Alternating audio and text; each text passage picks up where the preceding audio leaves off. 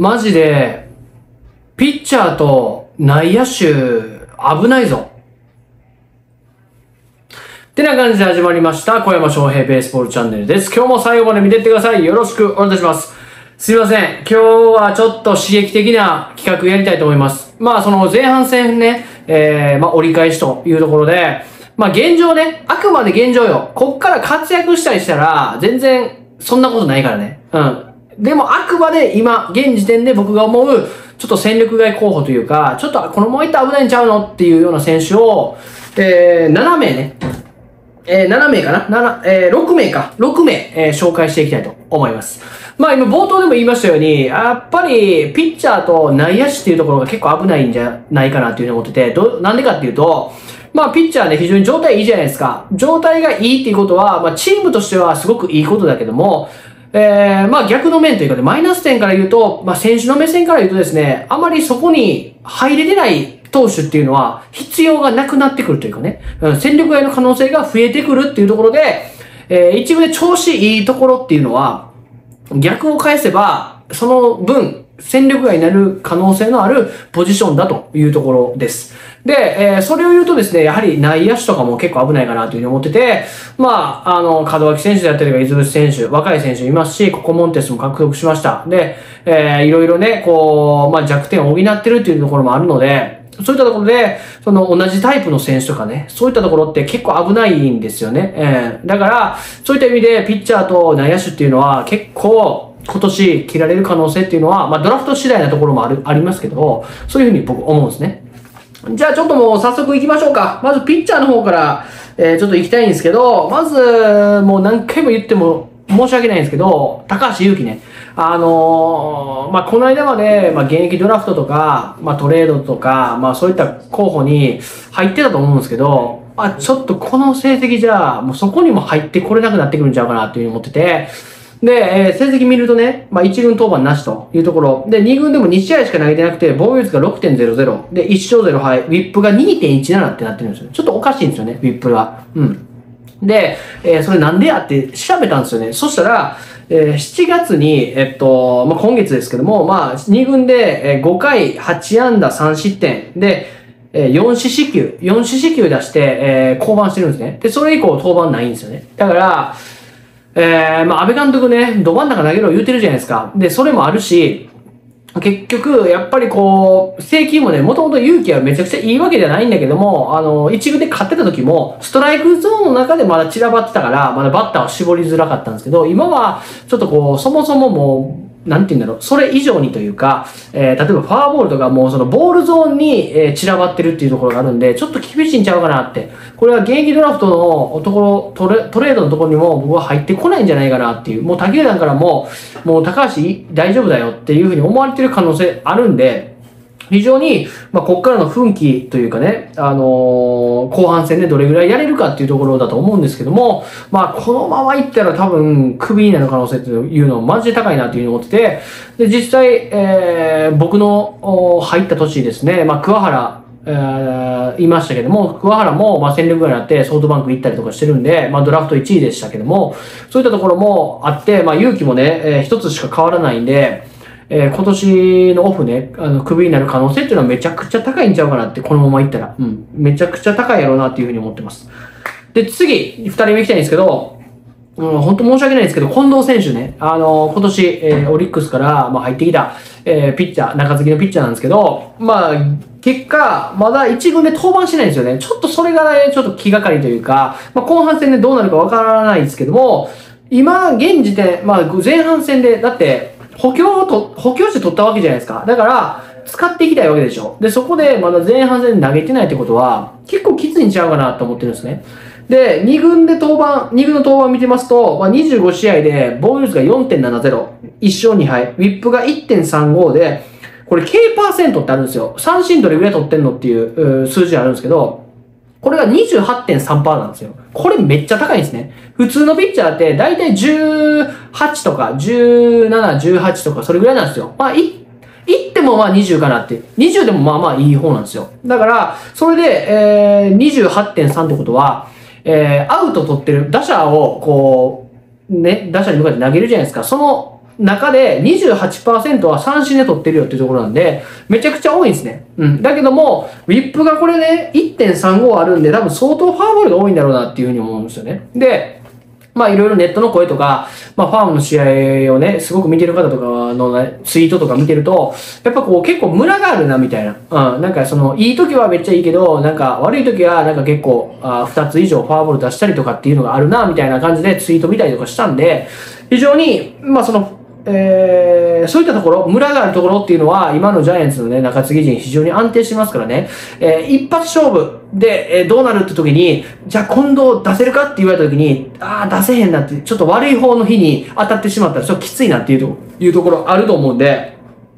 で、ましてや年齢も33っていうところで、ちょっとこのベテランなところもあるんで、非常に難しいところで、まあ、1、来て1年目でね、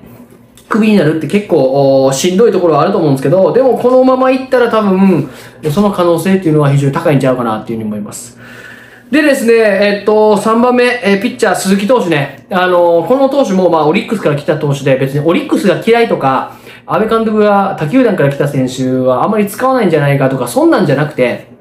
やっぱり、この二人に共通するのは、やっぱりこう、コントロールがあまり安定してないってところなんですね。で、えー、今年ね、鈴木投手も1軍登板なしと。で、2軍でも16試合で防御率が4.50。で、0勝0敗。で、ウィップが1.50という風になってて、まあその、まあ安倍監督はキャッチャー、もともとキャッチャーなんでね、やはり別にもうピッチャーがそのストライク投げるとか、やっぱ難しいこととかね、え、四隅に投げることとかって、すごく難しいところって分かってるんですよ。だけども、やっぱり、えー、キャッチャーであったし、今も監督であるから、やっぱりファーボールとかっていうところはね、少なくしていきたい。まあ、まあ、ちょっと言い過ぎかもしれないけど、ピッチャーのエラーみたいなもんなんでね、ファーボールなんて正直言うとね。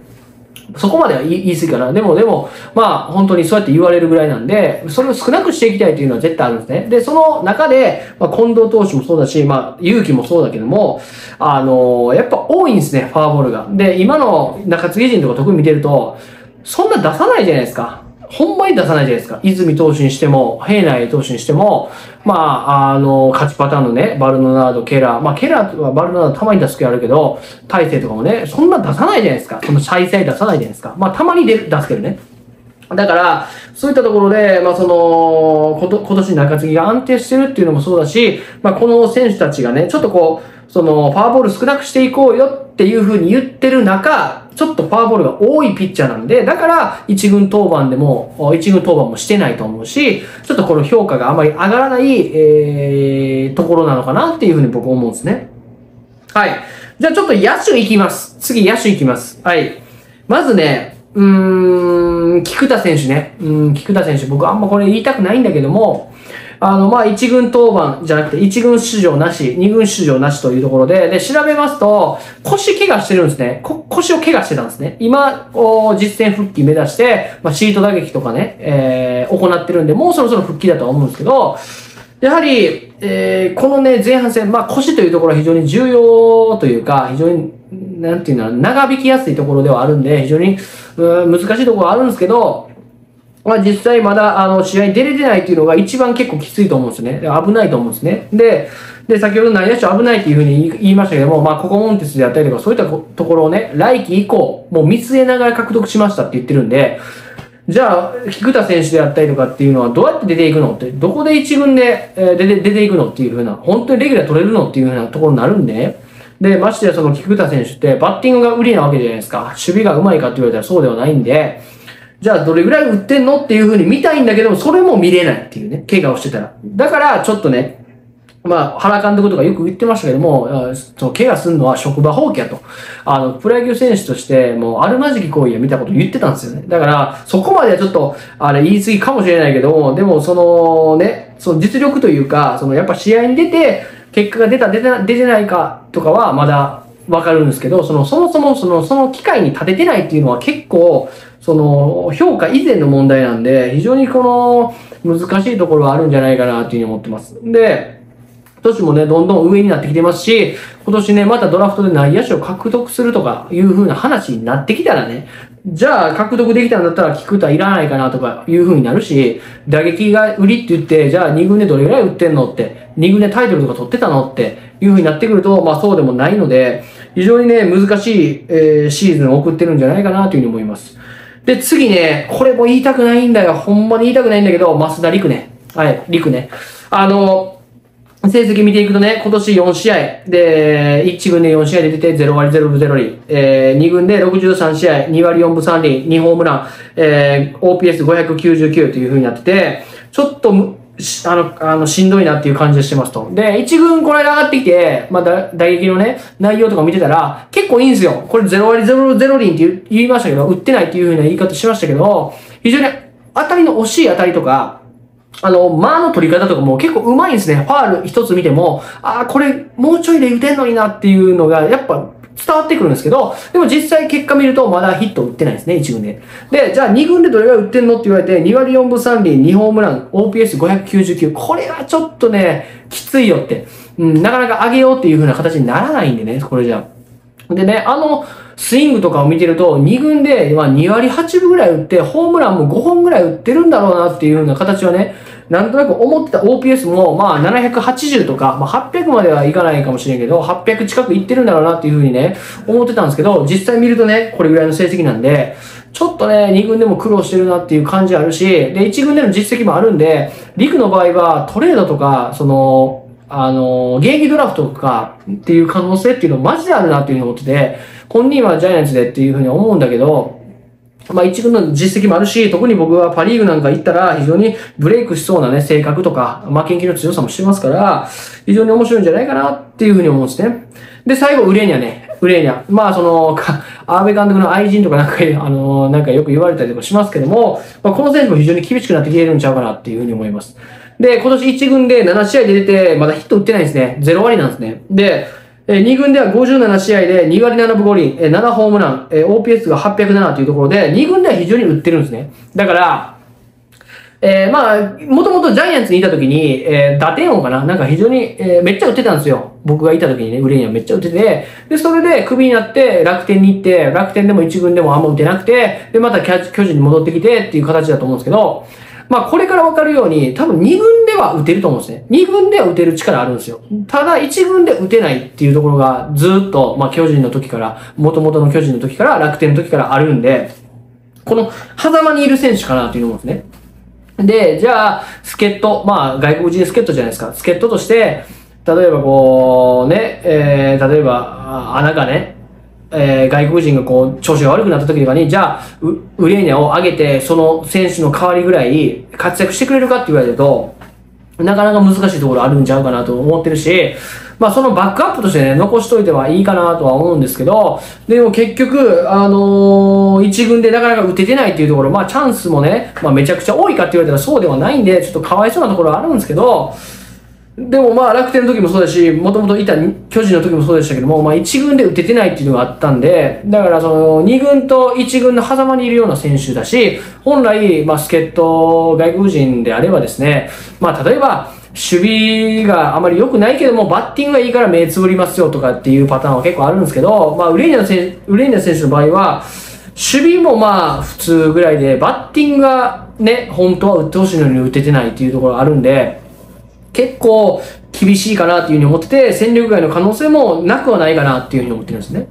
で、あの、紹介してないんですけど、まあ、ピッチャーとかで言ったら、現役ドラフトで言ったらね、今で言ったら、直江とかあの辺がちょっと怪しいんちゃうかなって。直江とかさっき言ったね、陸とか、このあたりが、まあ一軍でもね、実績、まあ実績多少あり、あったりとか、まあその、まあ二軍で、えー、めちゃくちゃいいわけじゃないけど、まあその環境を変えたら化けそうみたいな感じで他球団が思ってくれそうなんで、思いそうなんで、その直江とか、その増田陸あたりが僕、全現役ドラフトの、候補に上がってくるんちゃうかなと思うんですよね。去年とかだったら勇気とか、まだその、えー、他球団からしたら、あ、これ化けるかもっていうふうに思ってるんですけど、思いそうな感じなんですけど、今年のこの感じだと、もう高橋は無理かなっていうふうなね、方にね、切り替わってる感じがするんで、今年の現役ドラフトで言うと、直江、増田、まあ、ある程度若いっていうのもあるし、えー一軍でも投げたことあったりとか、打ったこともあるし、っていうところで、まあ、環境を変えてみたいなところはあると思うので、その二人あたりが、まあ、厳しい、厳しいというか、まあ、現役ドラフト候補かなーって、今現状では思います。まあ、その後ではですね、その後、その、あ あれではですね、まあ、育成選手に落ちる選手もいるかなと思ってて、まあ、石田、石田投手とか、まあ、トミー・ジョンしてるしね。で、白木投手、白木投手とか、4月にもトトミー・ジョンしてますし、で、この山田流星っていう投手もね、えー、まあ、一軍登板未だになかったりとかするんで、多分おそらく育成に下がるだろうなとかいうふうにも思うし、まあ非常にね、まだ前半戦終わっての僕の感想なんで、ちょっとまだあの難しい、えー、断言するのはできないですけど、まあ今、成績を見ると、まあこの辺のあたりの選手っていうのが結構厳しい感じはあるし、あの、まあ頑張ってもらいたいという気持ちはあるんだけども、まあ実際、えー、クになる選手は毎年いるというところもあって、まあ、な、あの、センシティブというかね、え、すごく、難しい話ではありますけども、ちょっとまあ、このチャンネルでは、あの、はっきり、忖度なく言っていきたいというところで取り上げさせていただきました。はい、そんな感じでですね、まあいろいろね、えー、選手の名前出しました。まあファンの方もね、いらっしゃるんで、ちょっとこう、心苦しいというか、お前何言ってんねんっていうふうにね、思われる方もいらっしゃると思うんですけども、まあ僕がね、あくまで、えー、思うことなんでね。うん。だから、ぜひね、えー、意見とかありましたらコメント欄でいただけると嬉しいです。はい、そんな感じで今日は終わってきます。いつもありがとうございます。これからもどうぞよろしくお願いします。そんな感じで今日は終わってきます。じゃあ、バイバ